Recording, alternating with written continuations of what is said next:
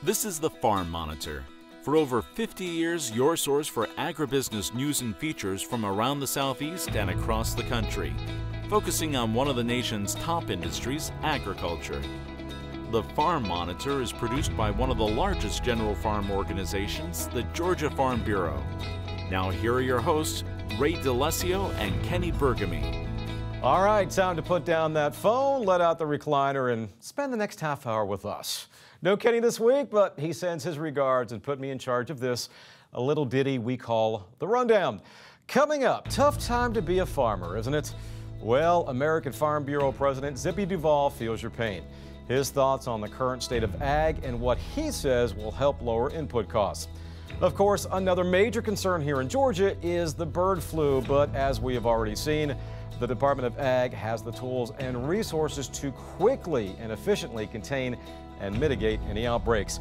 And then later, this video might be in slow motion, but the farmer in it likes to go really, really fast. The Monitor travels to Miller County and talks horsepower with peanut farmer Jeff Adkinson. These stories and so much more starting right now on the Farm Monitor. Well, needless to say, it has been a uniquely challenging year for the ag industry. Record high input costs, disruptions of the supply chain. Sounds like a broken record, right? Well, recently, Damon Jones spoke with American Farm Bureau President Zippy Duvall at his home in Greene County about the issues at hand and whether or not there are possible solutions on the horizon. It's a very tumultuous time to be a farmer as the cost of doing business has reached an all time high.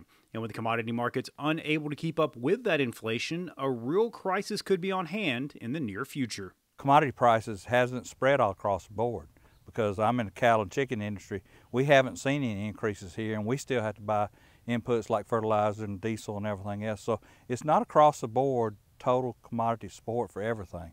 But that's going to be key. If, if commodity prices was to fall, and we have availability and price issues in 2023, it could be absolutely disastrous and could really cause a huge food shortage in our country and our world. Consumers are already starting to feel the impact as prices at the grocery store have jumped nearly 10% since last year.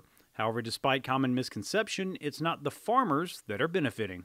It is a big concern because you see those increases and then it, it actually gives us a, a, a bad name or looks bad on us but we're not receiving that. It's still nine cents out of every dollar somebody spends at the grocery store. I think it's nine cents, somewhere between nine and 14 gets, cents gets back to the farmer. And, and with the prices that we're having to pay for stuff and the prices they're getting for it on the shelf, something is, is missing in the middle. As for what can be done to combat some of these problems, Duvall believes becoming less reliant on foreign countries for natural resources would be a good start. But really and truly, we need to be able to look at our policies and make sure we lead in a direction that helps us become energy independent again. And that will change a lot of lives across America. And it will really lower a lot of the input costs because there's a lot of energy used to make fertilizer and a lot of energy used to working our fields and taking care of our animals. That will be one of the main issues addressed in the upcoming Farm Bill. It's a piece of legislation that AFBF is already hard at work on as it will greatly impact everyone's way of life. It's crucial to making sure that the most vulnerable people in our country get fed, being the elderly and the children. Uh, it's crucial to farm programs and farmers being sustainable, whether it be uh, climate sustainable or whether it be uh, financially sustainable. And then it's crucial to our rural communities to make sure that we do this again, refresh it, and get it done in a timely manner. Uh, it, it helps, uh, it affects every American's life. However, making the necessary changes will require a team effort, which is why Duvall encourages every single farmer to make their voice heard. Make sure that you're an involved Farm Bureau member because your voice is the most important voice in our organization. You are the most important person in our organization. And without your involvement, we can't accomplish our mission of providing that one united voice for American agriculture. Reporting from Greene County, I'm Damon Jones for the Farm Monitor. Speaking of the Farm Bill, while discussions are ongoing, Sam Kieffer, American Farm Bureau VP of Public Policy, says lawmakers are in the process of gathering information. In a recent interview, he outlined the early priorities Farm Bureau members want to see in the next bill. We're focused on maintaining and strengthening the important risk management tools. We're also focused on working lands conservation and other mechanisms that provide both an environmental benefit and the ability for food production. We're also going to make sure that rural America has the connectivity and the tools it needs to compete in a digital era. Lastly, but certainly not least, we're going to be focused on making sure this farm bill is bipartisan.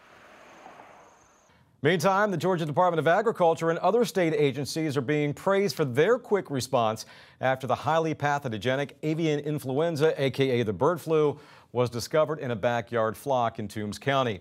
Over Memorial Day weekend, the Ag Department received a call from a non-commercial producer alerting them of the possibility of the virus when he noticed birds in his flock were becoming ill and dying. Commissioner Gary Black says within 48 hours of teams being dispatched, tests were performed, the presence of AI confirmed, and the birds, about 350 of them, euthanized. Neighboring commercial poultry operations were also tested. So far, those results have come back negative. Despite the containment, Commissioner Black says now is not the time to relax. In fact, he is urging poultry producers to remain vigilant with their ongoing biosecurity measures. Uh, that message of biosecurity to the producer and throughout the the poultry industry and backyard flock owners is uh, there there is no such thing as a day off when it comes to biosecurity and and and uh, likewise it would not be such a, a, day off for this department and being prepared to respond to should there be another uh, another event. Any questions or concerns you may have about AI, or if you suspect that your birds have avian influenza, you can call the AI hotline at 770-766-6850. Testing is free through the Georgia Poultry Lab Network. Build it, and they will come. That was certainly the case for the Wright family when they took a leap of faith and opened Wright's Meat Processing in Summerville. John Holcomb with the story from Chattooga County. In northwest Georgia, at this family run meat processing operation, the meat business is no doubt serious business for the Wright family, as they work to provide high quality custom cut and retail services for producers and consumers in the area. It's certainly been quite the adventure for them, but it's one they're extremely grateful for as they've gotten to see their dream come to fruition. We're a custom processing facility, and now we're USDA uh, licensed and inspected. Uh, so if somebody wanted to bring us a pork or a beef and kill it under inspection, they would be able to, to sell that product themselves at flea markets and whatever. But um, that's what we do here. We custom cut uh, everything to order, uh, and we make our own sausage and sell that out retail too at the front we've always wanted to work with our boys. We have two boys, and their significant others work with us as well. And um, that just means a lot. You can, you're not tied to a time clock. I mean, we still work hard and get everything done, but we're not um, punching a clock. We don't have to ask for, you know, vacation time. Uh, we get to spend every day together. Of course, it is hard at times to work with your family. It, it always is, but it's rewarding at the end. Being livestock producers themselves, the Wrights saw the need for a processor in the area as consumer demand for locally grown and processed meat has grown exponentially over the past few years, not to mention the difficulties finding meat due to the pandemic and supply chain issues. There's not enough processors for the demand. With COVID hitting, you know, the, we couldn't get to the grocery stores. Um, even now, two years later, the supply and the demand is just you can't find you can't find the food. Things are out of stock. Um, we are thankful that we are able to open this up for the community so that they can provide for themselves. Um, they can kill their own animals, you know, their beef and their hogs, um, put it up in the freezer, not worry about they get, if they can get to the grocery store, uh, if they even have it in the grocery store. We serve a, a niche here um, with all the supply chain problems and uh, rumors of food shortages. Uh, I, I, like, you know, it's a, it's a nice feeling to be in the community that we can serve people that uh, they can raise their own hogs and beef and bring them here and not have to worry where their next meal is going to come from. So we're trying in our little own way to to help that problem. And for the Wrights, that's the most important thing. Working hard to provide a good service and product to those in their community. Making sure the customer gets a good product. Uh, that's what drives us to get up every morning knowing, and, and, we leave at the end of the day with a good feeling and knowing we created a good product that, that somebody can take home to their family and use. Reporting in Summerville for the Farm Monitor, I'm John Holcomb. John, thanks so much. Well, buckle your seatbelts because when we come back, we are kicking up the horsepower and taking you from the harvester to this piece of muscle machinery and the peanut farmer who drives both of them. Stay tuned.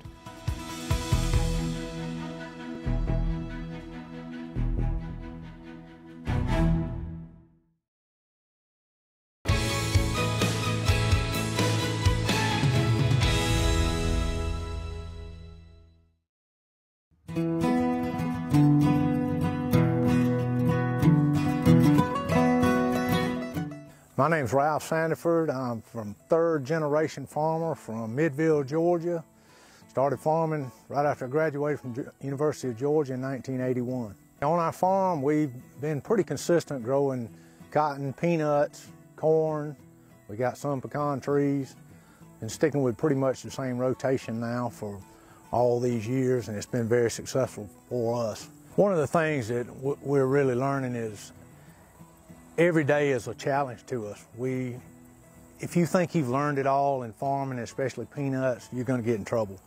You've got to start paying attention to what Extension is doing for us and, and the new technology and all that's coming out there because things change every day. So you can't just go to sleep and think you've got it figured out because tomorrow it will be different. Over the 40 years, uh, probably the biggest change has been computers. Uh, every tractor has a computer on it. I was more of the mechanical type all my life and enjoyed it, but now I've got my son who graduated from Georgia, Jacob. He's back here and farming me, fourth generation, and he likes that side of it. So it's really worked out well for us to have both sides on the farm to keep it going.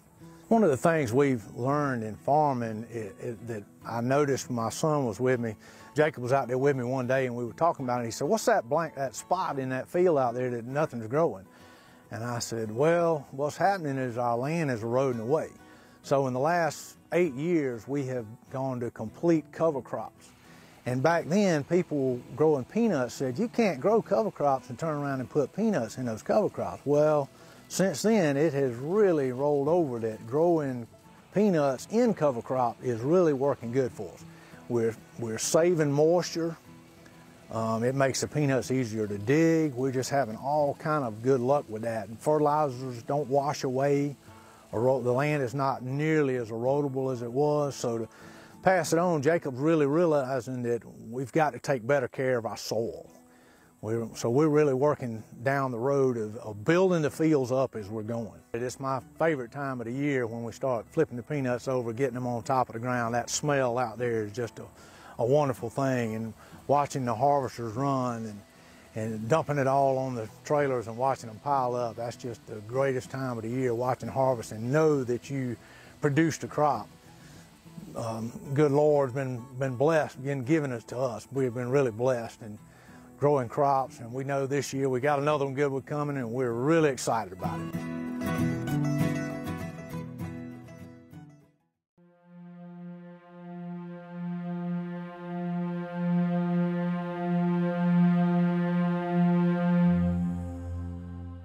For Damascus farmer Jeff Adkinson, at times, life on the farm can feel like it's moving at a snail's pace, laid back, relaxing.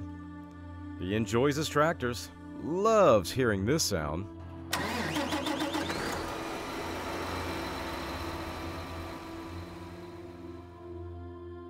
But when he's not farming, this sound here really gets his heart racing. Literally.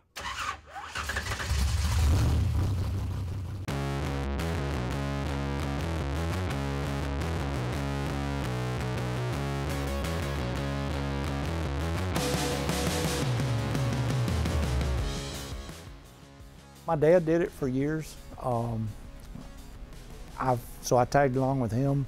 Uh, always intrigued by it, always uh, wanted to learn more as we got along. Uh, started doing it on my own when I, or started doing it, started driving his car at 16. Uh, drove it for several years and Uh, had a little bit of success, but as a young kid, your head's not in the right place. You're, you're better than everybody else. But eventually, Jeff matured, his ego left in the dust, so to speak, and now he's a regular on the NHRA professional drag circuit, traveling the country all while promoting Georgia Peanuts and the Georgia Peanut Commission, one of his sponsors. Everybody knows me as the Peanut Man. Uh, we go to the races. One of the first questions we get asked him when we're in uh, Minnesota or California or anywhere like that is, uh, hurry up and get unloaded so you can get the peanuts out. Uh, they all want, want uh, they love the samples of peanuts that we bring. It's a good fit for me. They can hire someone, I mean, they can sponsor someone else, but they can't really give them firsthand information on the peanut, on the growing, the sustainability, profitability, the uh, protein value, everything else. They can't do that the way that I can. Some of the silly questions we've been asked about peanuts over the years is, um, do you have to plant them every year? Do they grow on trees? Um, you know, so it's uh, it's it's uh, it's been very enlightening for me. It's a lot of fun. Uh, I enjoy going around the country promoting peanuts.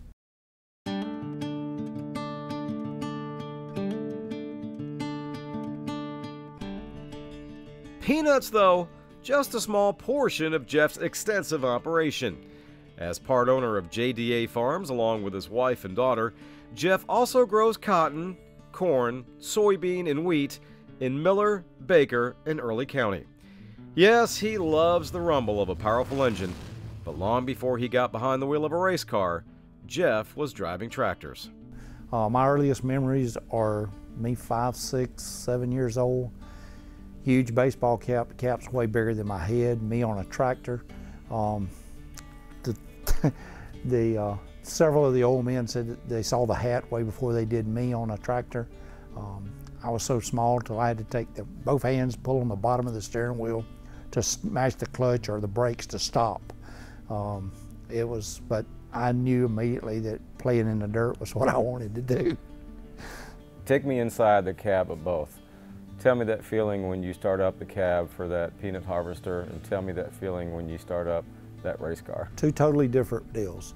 I want the cab of the tractor to be just as quiet as possible. I don't play a radio, I don't play anything like that. I want to be able to hear the hum of the machine and make sure that everything is uh, operating properly behind me, whatever I'm doing. Uh, in a race car, I want to hear a lot of noise. Uh, yeah, you're listening for uh, problems that may occur with both, so there's a lot of similarities. Um, it's uh, the rush that you get with a race car is undescribable. The racing's pretty simple. When I don't feel like I'm competitive anymore, when I don't feel like I can do it, I'll quit. I'm not going to go out there and uh, and just be a number. I'm, I, right now, I still feel like I can compete with anybody out there. So I'm going to continue to do that. Uh, the farming, I would like to slow down. Uh, but as far as completely quitting, I don't see myself doing that for a long, long time.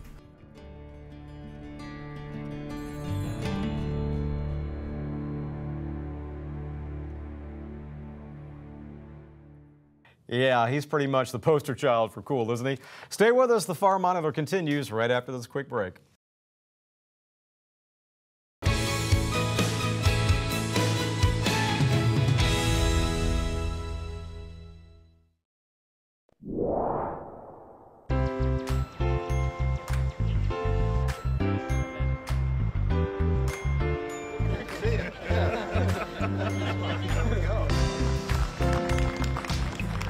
Welcome and thank you for coming to the ribbon cutting ceremony of the People's Garden. We're going to be replicating this across this country. We have about 17 locations right now that we're going to have these gardens. We're going to have more. And I think as rural meets urban, these are the things that we have to do. You know, we call it the People's Garden in part because Abe Lincoln, when he established the department in 1862, referred to the Department of Agriculture as the People's Department. This is going to be a place that's going to attract a lot of attention. A lot of people are going to come here. They're going to take a look at the amazing array of agricultural products that are being grown here. They'll read the information that's being provided and they'll get a sense. When you grow gardens like this, you create a more resilient food system. It helps to address food security needs in communities. Our hope is that it inspires others to go back to their communities to start something like this. And we hope that a few young people who come by here think, hey, I wonder what's going on in that building over there. I wonder what kind of activity and opportunity they might have if I worked at USDA.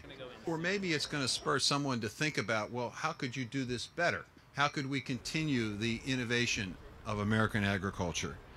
And hopefully it will also encourage all of us that we need to do our part to mitigate the consequences of a changing climate and that we're sensitive to that. And with that, I'm supposed to cut the ribbon. Two, three, it's officially open. All right.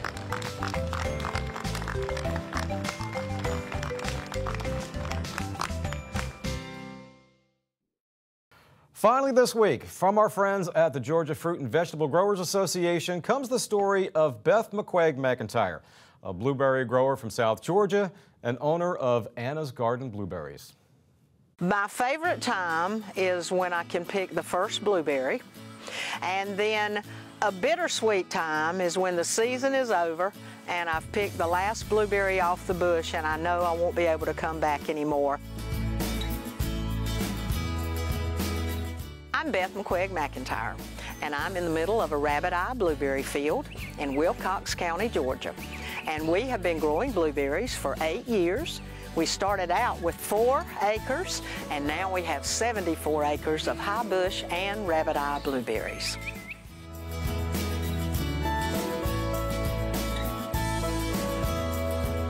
To me, the soil in Georgia is ideal for blueberries. It is sandy, loamy clay. You can have your soil tested. Where we are in Wilcox County, we have sandy, loamy soil. It was initially pine tree land. It had a lot of good acidity to it. So for our farm, that is what makes blueberries good.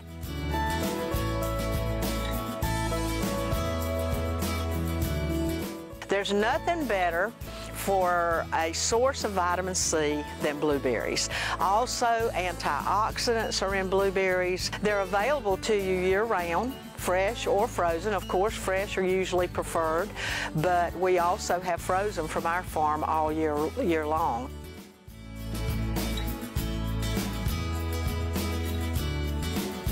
This year for us, we opted to use our harvester 100% of the time. So all of the berries that we have harvested this year have been done by the harvester, which for me, and for, as far as food safety goes, that is much safer than a lot of different hands touching the blueberries. So no hands touch the blueberries really until we get to the packing plant and then they have gloves on and they have masks and hairnets and sleeves. So in my way of thinking, we made a decision to go with the harvester as a food safety measure as well as a cost-saving measure. I can run the harvester with five people rather than having 85 people in my field. So it's a matter of economics there.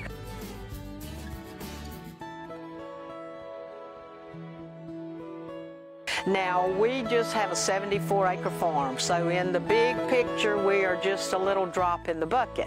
But we want to be a good drop in the bucket, and we also want to be a productive farm, which we think we are. We're a relatively new farm.